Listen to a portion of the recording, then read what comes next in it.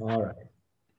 So uh, the the uh, this part of like in this part of lecture we we uh, start introducing the basic concepts uh, uh, for Markov decision processes, uh, which require the formalization of concepts that we've been already discussing. So we are starting out with considering a set of discrete states which belong to some set of cardinality S here on the right, uh, a set of actions, uh, which is again, uh, as a fixed cardinality.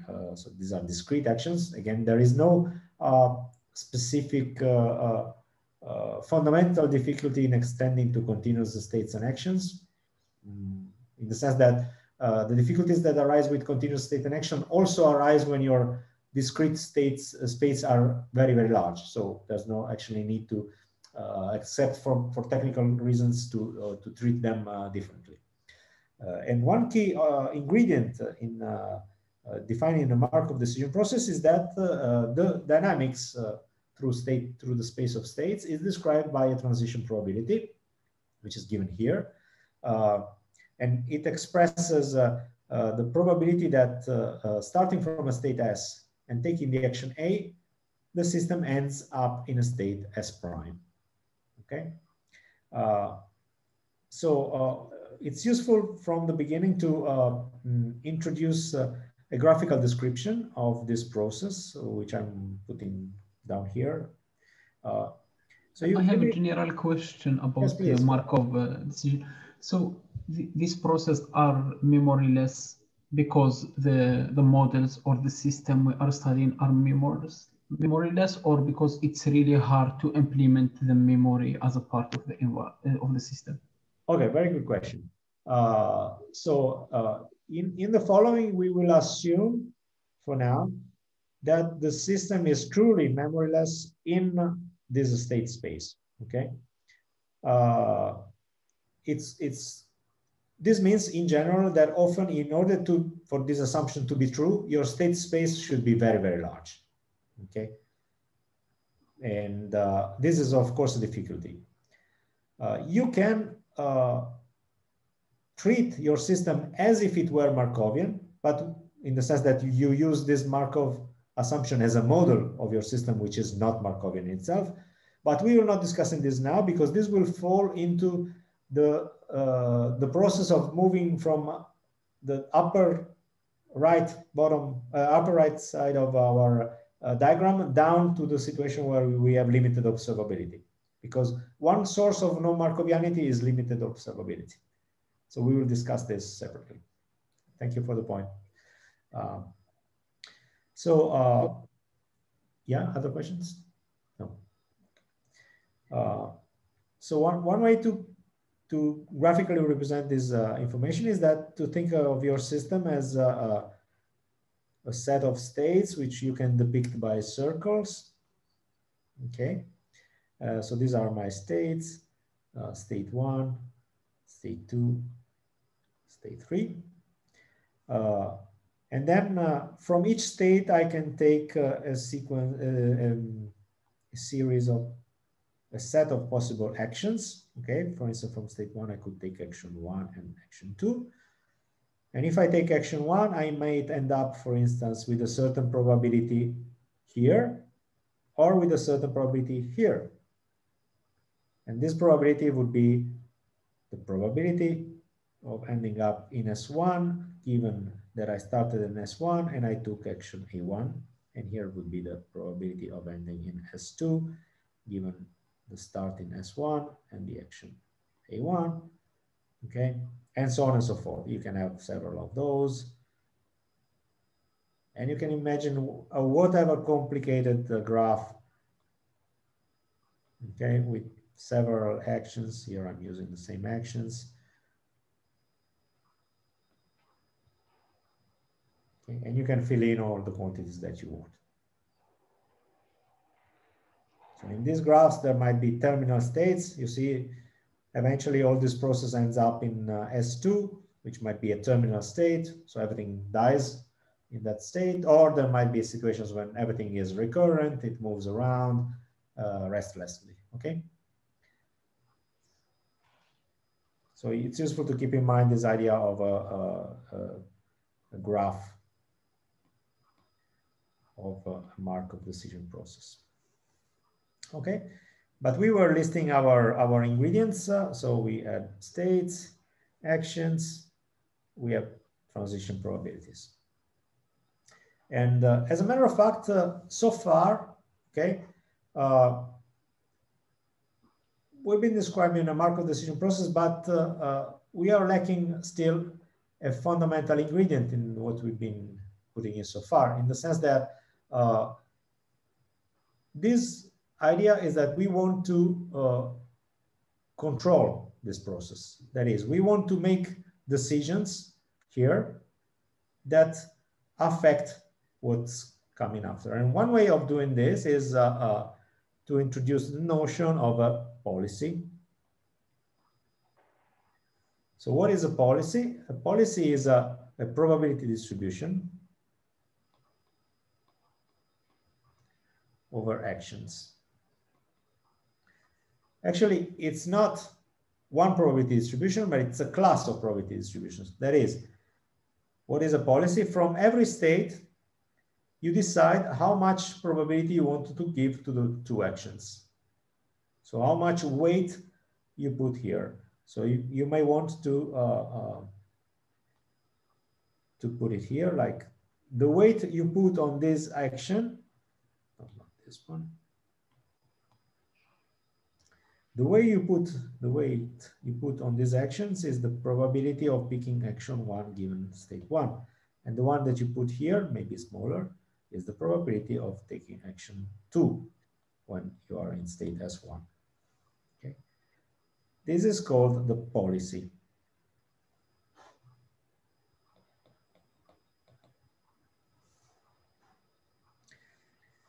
And uh, it's important to realize from the very beginning that this part of the problem, that is the way you transition from one state to another.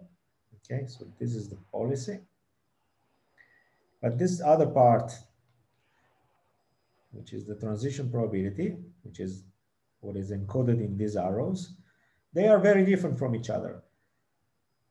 This one is not in control of the environment, of the agent, okay? The agent has no control on this. Once you take an action, what will happen is not in your hands anymore. It's a consequence of your of the way you're done as an agent, of the way the robot is done and the way the environment is. The environment can also change by itself in a way that doesn't depend on actions, okay? This is also included. The environment can be dynamic, even if you take whatever action you take, the environment can change and you can have no control on that at all. On the other hand, this part here of the policy of the policy, this is something over which you have control. And the goal will be to find out the best policy. But best policy with respect to what? So we still have to define central thing in our uh, problem, which is to define the goal.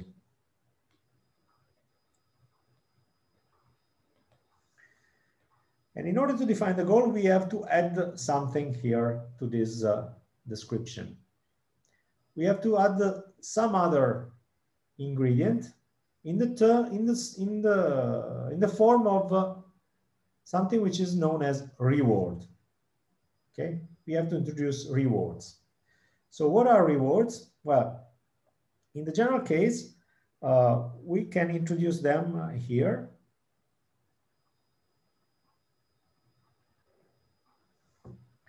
So we can tweak our transition probability in order to uh, add uh, to each of these steps the probability of going to a certain location and receiving a certain reward.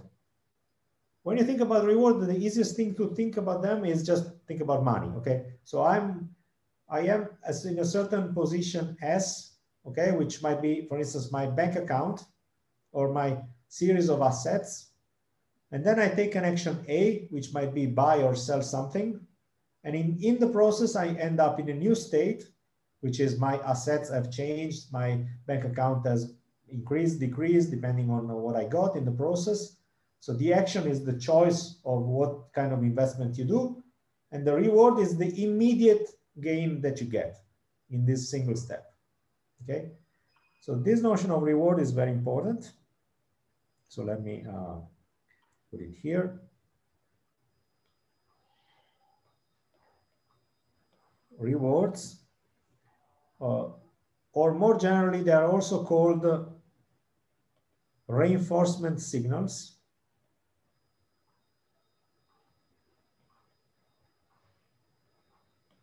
Because in animal and human behavior, these are not necessarily rewards in the, in an obvious sense, but these are more uh, uh, abstract.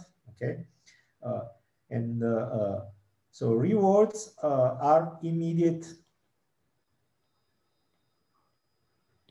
gratifications, if you wish.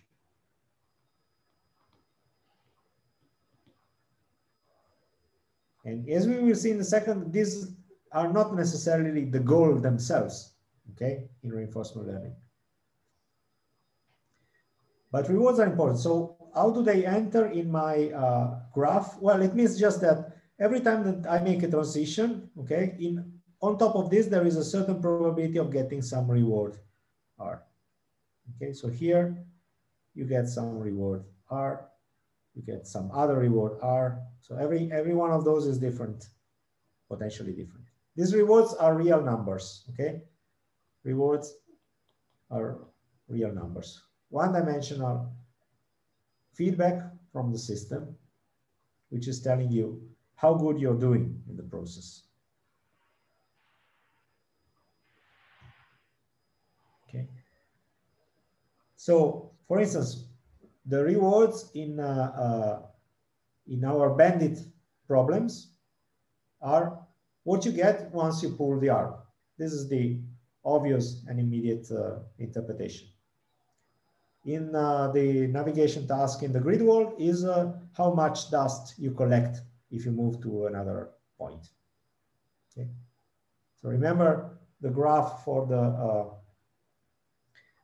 for the grid world. Okay, you are in a state S, which is your uh, green dot here. Okay, so this is your initial state S. Uh, then you take uh, an action, so suppose that this is the action you take. And if you took, take that, then uh, you end up in a new state uh, here which are, is in your new status prime. And uh, is there any dust in uh, that tile? No, no dust. Therefore, you take uh, reward equals zero. And then you move around.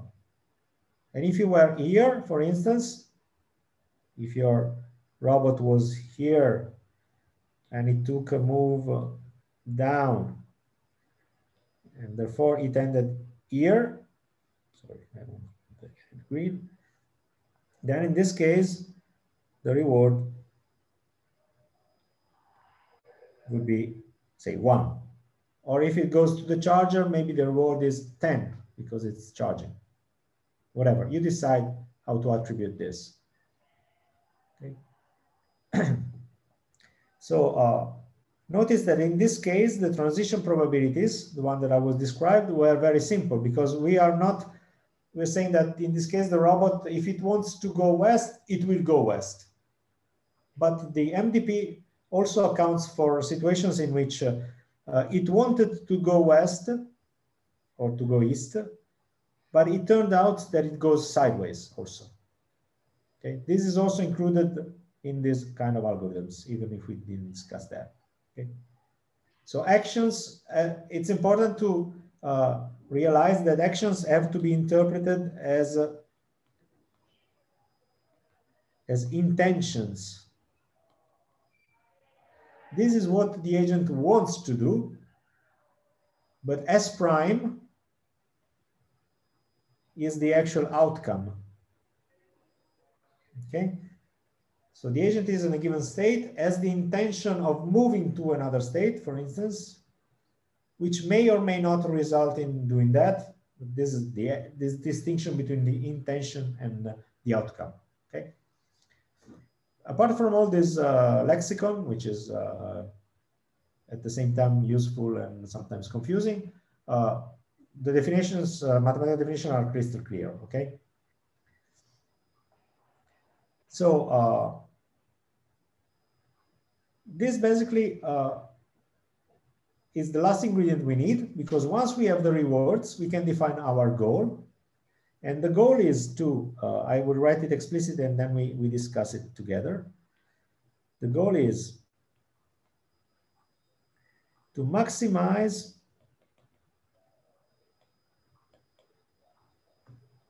the cumulative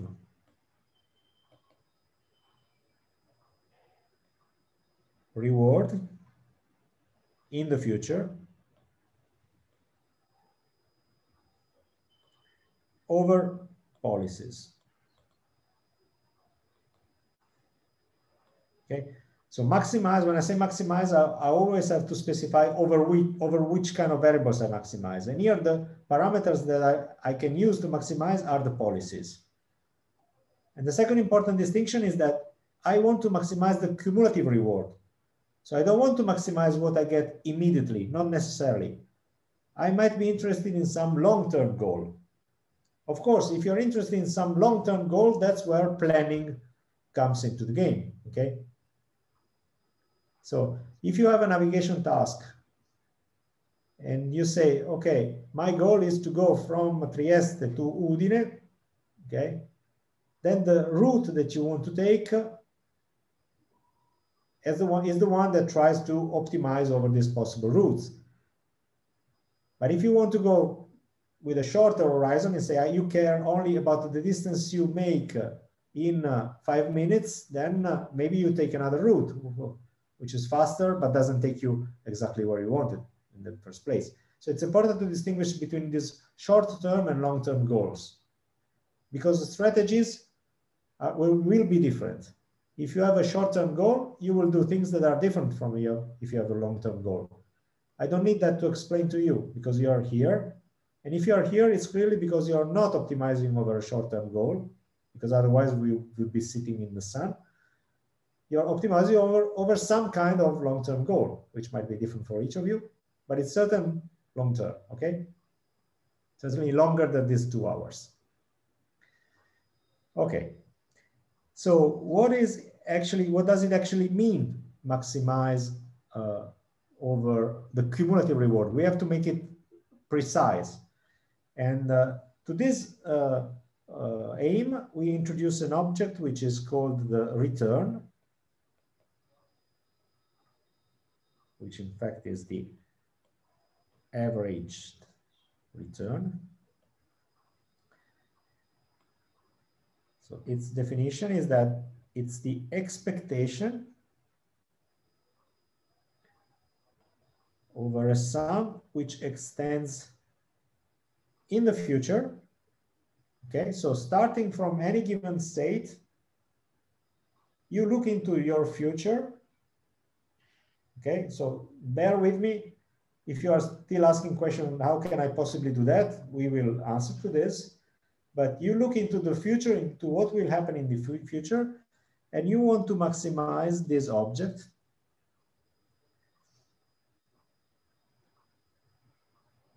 Let me write it like this, and then I will explain what, what this is. Okay. So remember what is happening here in this uh, uh, in this process.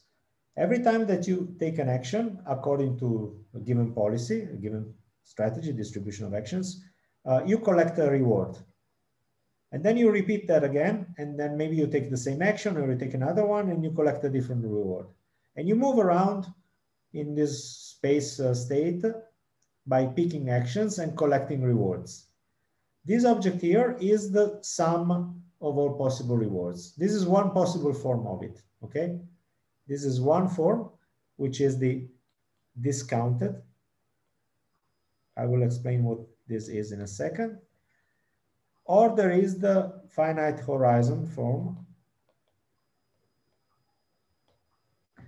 which is maximize the sum from t from zero up to a certain time t of your rewards along the way, undiscounted. So the, the, this expression below is probably the most intuitive one. You say, you decide, I have, my time horizon is capital T steps. I want to optimize over a time which is 10 days, 10 years, 10 minutes. And I decide this beforehand, and this is gonna be my horizon. And then I ask, what is the best policy in order to do to achieve this result? Now, as you can imagine, one important thing is that if you set yourself a fixed horizon, your strategy will change over time, okay? So suppose that you say, I have to turn in my homework in 10 days. And then what will you do? Okay, you will do nothing on day one, you will do nothing on day two, you will do nothing on day three. And then when in the, on days eight and nine, you will do everything, okay? So typically, if you have a finite horizon, the best strategy is actually to do something different in time. On the other hand, when you use the discounted version, which is the one on the top, you we will see that you have stationary strategies over time. So the best strategy is the same irrespective of when you start. So what is this uh, discounted uh, uh, thing that, that we have here? So this object uh, here, this parameter here, gamma, is called the discount factor.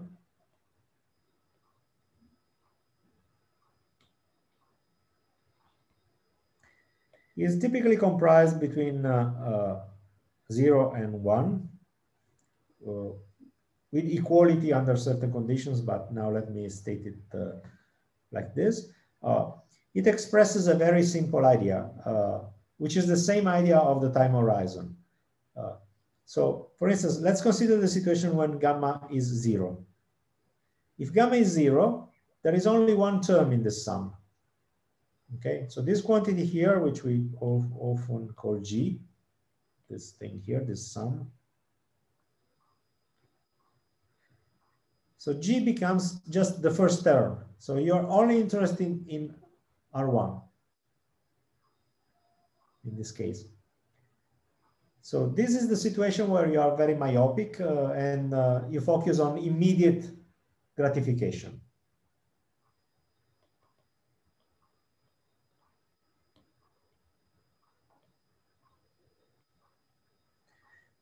On the contrary, when gamma tends to one, it means that you're taking a sum which has a very, very long contribution from times which are very far in the future. So in this case, it's a situation where you are looking ahead a lot into the future. And this is what makes it a long-term goal. Notice that in, in many situations like navigation, the goals are long term because in order to reach a point, you have to go through a desert of uh, gratification. Okay, so it, there will be nothing for you for ages until you get to the final reward. So planning is always something which requires uh, long-term goals rather than immediate gratifications. Okay, so this discount factor is something that you can easily interpret it by saying, uh, if I get a reward uh, tomorrow, it's going to be more valuable than if I get a reward uh, the day after tomorrow. And the way this gamma uh, is close to one says basically how fast you go uh, towards uh, zero. Basically, everything that happens at times t, which are much larger than one over one minus gamma, doesn't count. Okay, so this series here is exponentially cut off at times which are larger than this. So this also can be called also the horizon. It plays a similar role to this capital T, only in a different way. It's a sort of more smoothed version of a hard uh, deadline. Okay, so uh, clearly this object here that we want to optimize depends on the policy because the choice of the actions affects the choice of the rewards. And therefore, uh, it makes sense to ask how to maximize this thing uh, with respect to policies. So formally, this expectation depends on the p's and on the pi's. But remember that we can only act on this. So that's the only set of parameters over which we can optimize. Okay, so this is basically uh, the, the formal setting for Markov decision processes. So the next question that comes in the line is uh, how we do, do we solve them? So is it possible to, given all this information, so you, as a planner, as a decider, you are given this information, so these transition probabilities, you can choose your policies. One of these two is your objective. How do you compute the optimal policy? What are the properties of this policy? How is, does it look like? Is it random? Is it deterministic? Okay. So all of these questions we will address in the next lecture, starting to set up all the machinery that uh, will lead us to uh, introduce uh, this notion of optimality equations and how to use them for planning. Okay. So that's going to be it for today. If you have questions, uh, please come forward. I have one. Yes, please. Uh, I'll open the camera. Um, I've seen in many, um, well, everywhere basically that the gamma has to be lower than one, uh, which makes sense when our episode can be infinite. That makes sense. Uh, but in practice, I've seen that when you have a time horizon, so let's say a game that after a certain number of steps ends, uh, in many applications actually set to one, but in literature, I never found this, uh, or at least myself, I never found um, anyone explicitly saying that gamma can be equal to one, which again would make sense in this case because if we're playing a game, the reward is we're winning or losing, and um, we just care about the eventual reward.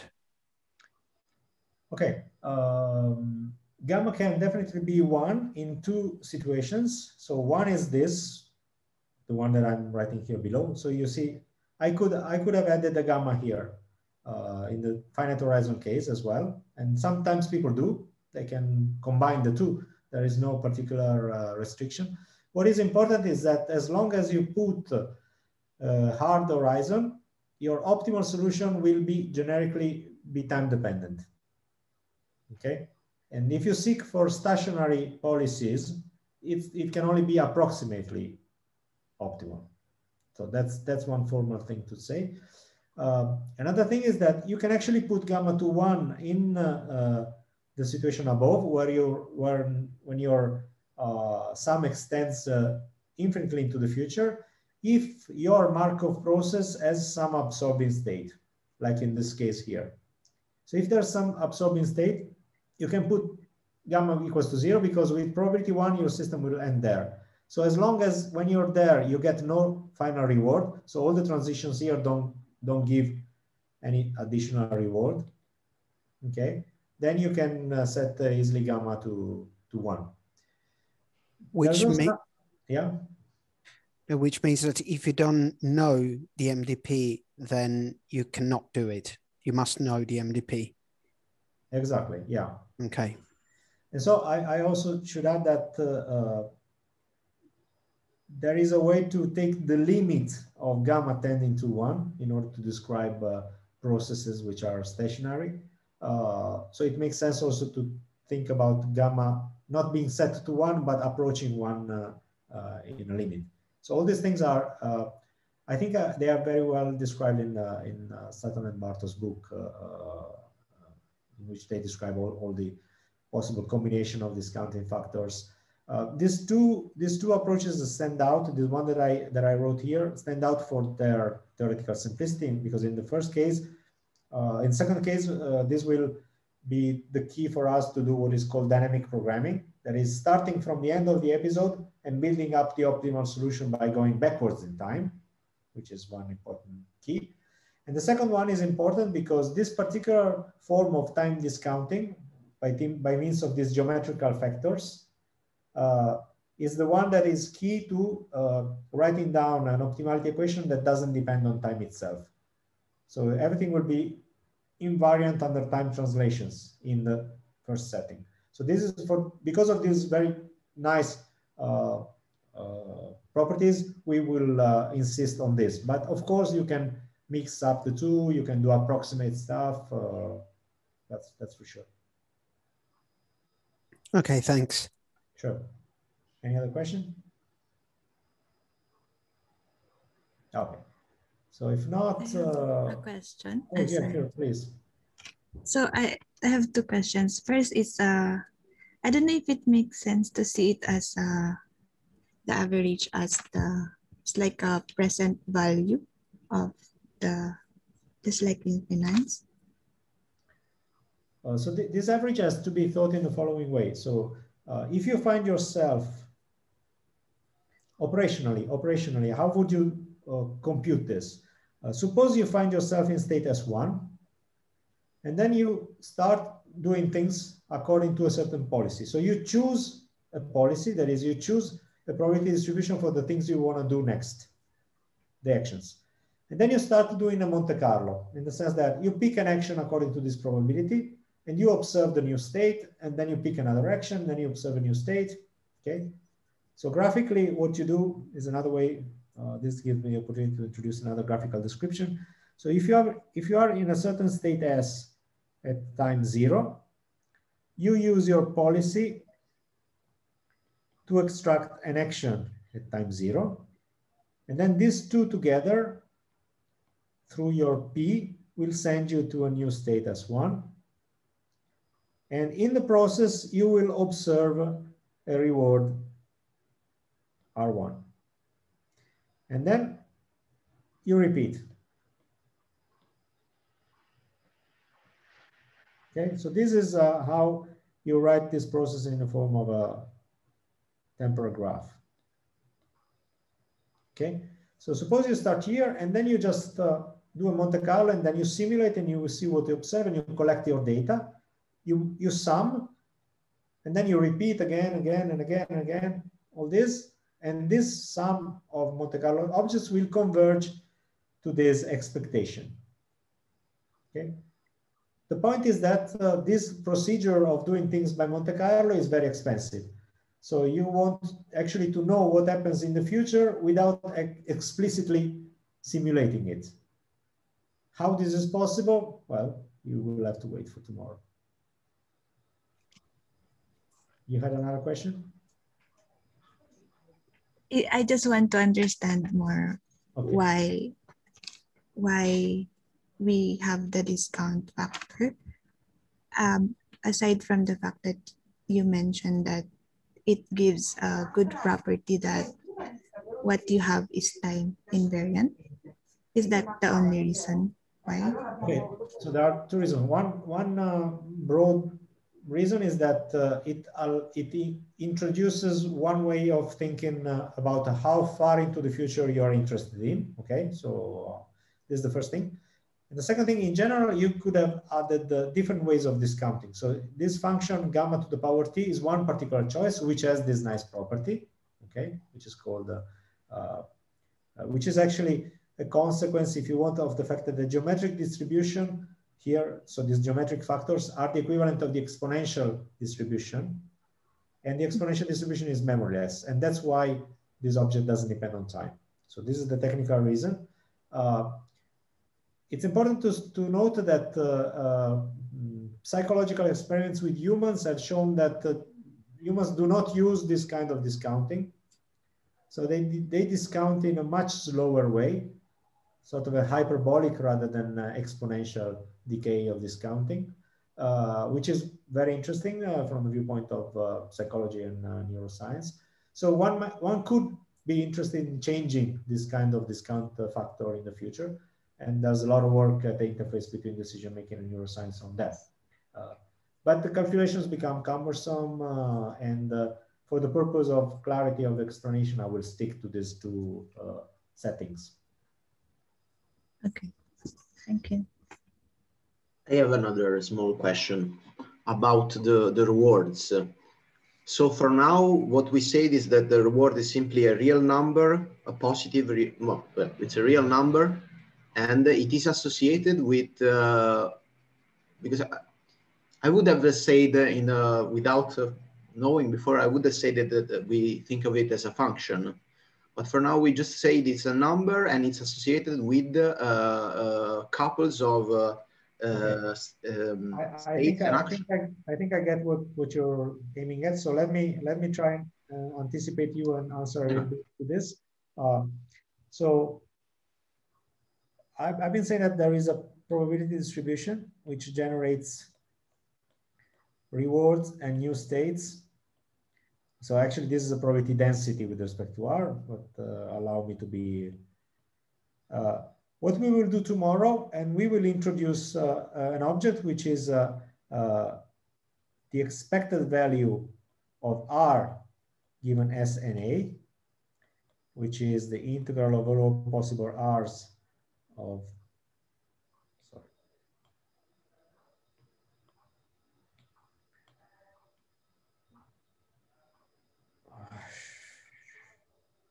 of R, P of R, S prime, sum over S prime of SA, which we will also define with a slight abuse of notation as R of S A.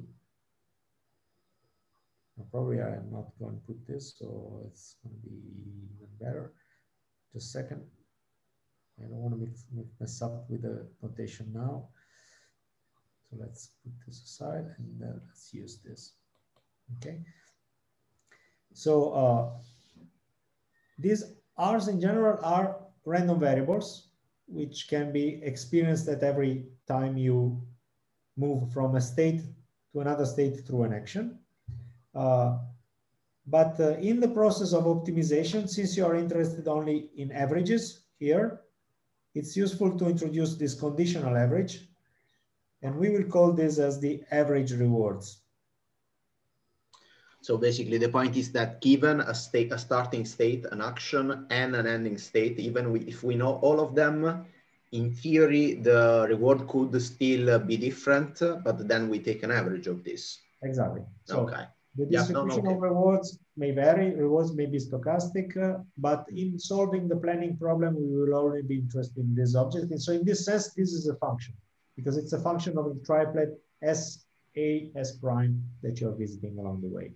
All right. Otherwise, we should think of it as a distribution, basically. Yeah, exactly. Okay. Which is something that you don't. Yeah, okay. okay. Okay. Thanks. Sure. Uh, can I also ask about the reward? Yes, please. Uh, so maybe we can we can also think of a reward as like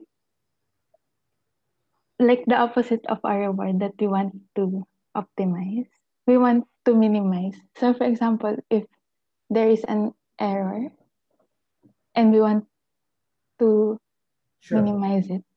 Sure, sure. I think I get it. So uh, yeah. So the, the basic idea is that the the the rewards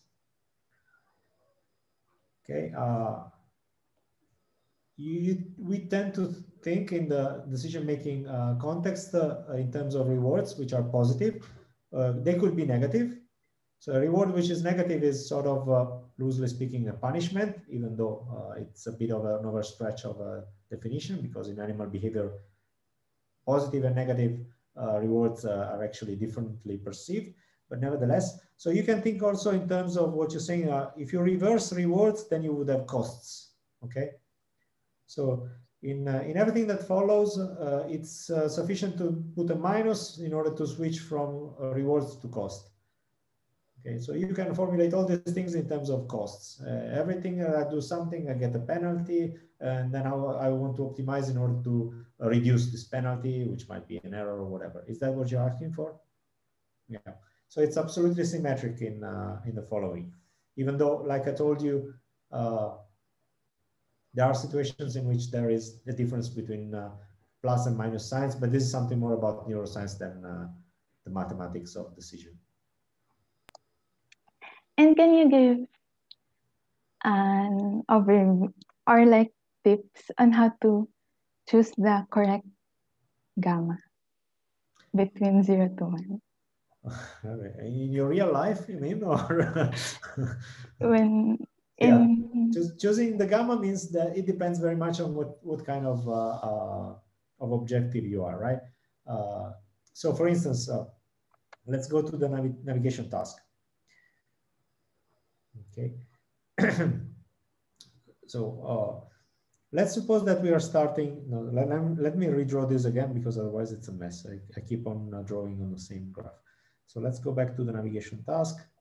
Okay, I'm not going to write down the grid. I'm just writing down the fact that we have a, some initial state S. Okay, and the actions are always something which are very localized in uh, in space. So they can only bring me in a small neighborhood of S. And then I have uh, certain uh, uh, rewards which are displaced around. Okay, so for instance, here there is a reward, uh, here there is a reward, and here there is a big reward. Okay. Okay, so uh, uh,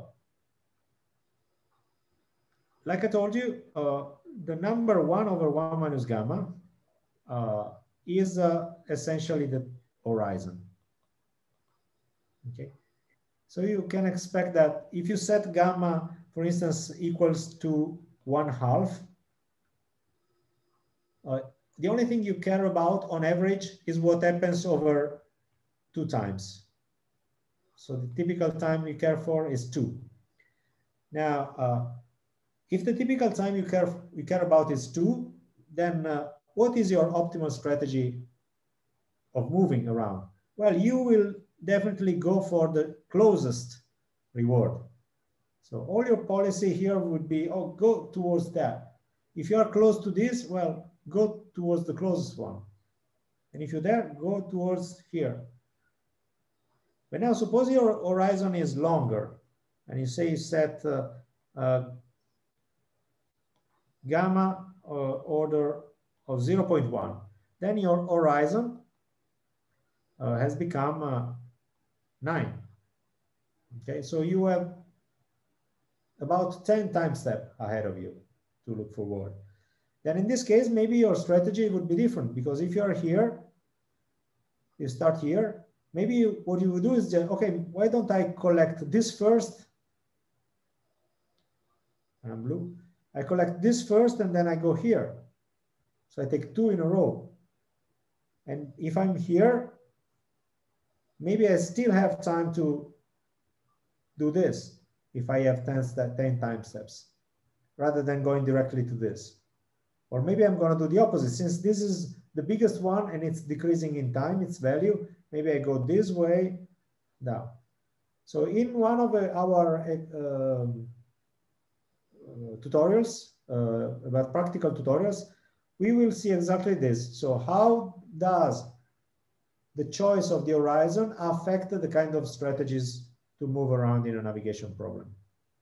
Typically, if the horizon is short, you will settle for the immediate closest thing that you get. If your horizon is longer, you can develop more complex strategies and trying around to collect stuff depending on how valuable it is and how much it will decay. So you, you can imagine that there are there is some critical gamma, right? Because uh, uh, suppose that you have two rewards. One is uh, small and one is large. And uh, if your gamma, since both rewards tend to decay in time, uh, you might want to choose one before the other depending uh, their on the relative value and the value of gamma. Okay, so depending on your time scale, you might decide, well, I pick this or I pick this first and then maybe the second, depending on on how far can I go. Can you get the just the general idea? So it is like an arbitrary parameter. It is a we... parameter which you which you decide at the beginning. Okay. Okay.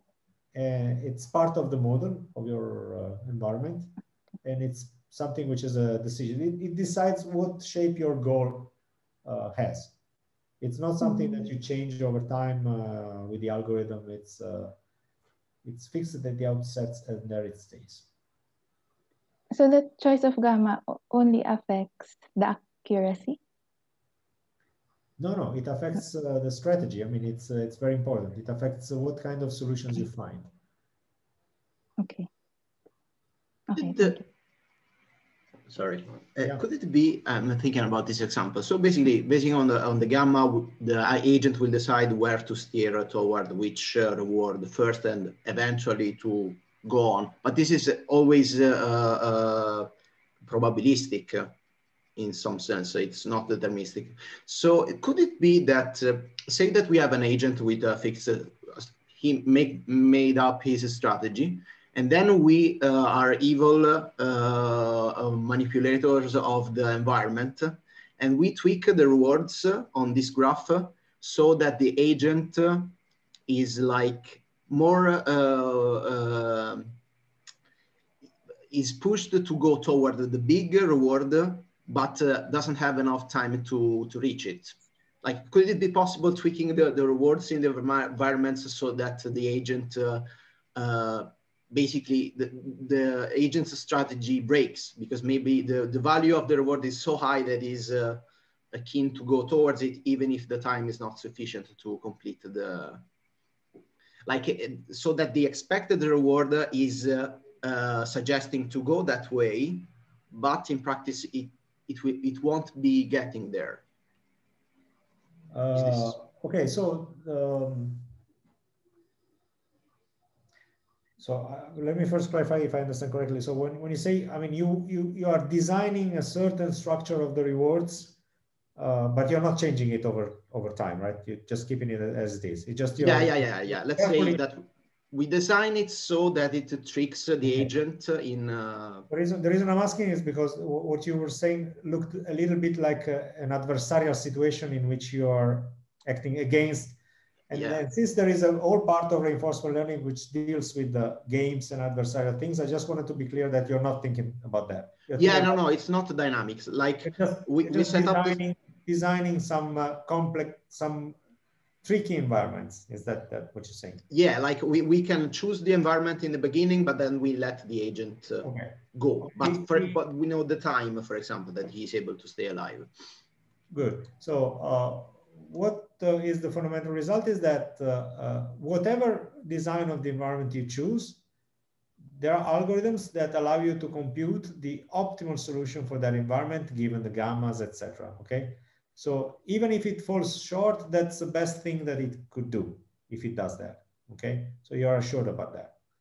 Uh, some strategies might seem counterintuitive, but the mathematics doesn't lie. These are the best ones that you can get if you solve the problem correctly. Okay, so basically, um, okay, st stochastically, the answer is no. The agent will still do the, the most reasonable thing. Yeah. Exactly, exactly. Even though there is a certain probability which might be high or small of missing the target, that's the best thing that you can do on average. Another yeah. thing is that if you change the game, I mean, if you don't if you don't ask about uh, winning on average, but if you ask other questions like, I want to get uh, this specific uh, reward. With, a, with the high reward with a given probability. Okay, so you're you're you're discussing the situation which is called risk sensitive learning, mm. which is very interesting in itself. Uh, uh, it also has a very well developed mathematical framework, but we're not discussing this now. Okay, no, just out of curiosity. Sure, sure. Oh, that's a good question. Thanks. Sure. Okay, I think we're really uh, around very late today. Uh, I'm both happy and sorry for this. Uh, happy because of your interest and sorry because I overflooded, overflowed. but let's let's call it a day and we meet again tomorrow at nine. Okay. Have a nice day. Thank Thanks. you. Bye. You too. Bye. Bye. See you tomorrow. Thank you. Bye. Thank you. Goodbye.